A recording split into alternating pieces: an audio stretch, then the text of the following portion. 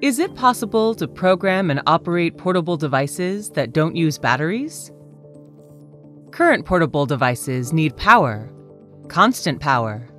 This traditionally necessitates the use of batteries that lose their capacity over time, need to be replaced, and are environmentally unfriendly. It is virtually impossible for hobbyists to develop applications with open source, batteryless hardware. When there's no power, any application will simply die.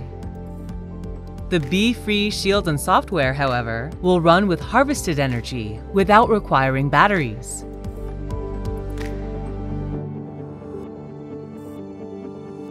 But more importantly, it will run perpetually with intermittent energy it will pause calculations when power is interrupted and will resume where it left off when power returns.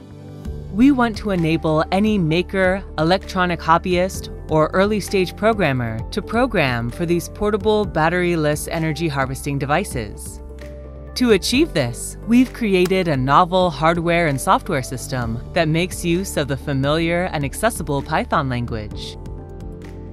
The combination of our device, and software fosters a future in which any early stage coder has access to mobile computing power, free of the environmental and lifetime costs of using batteries.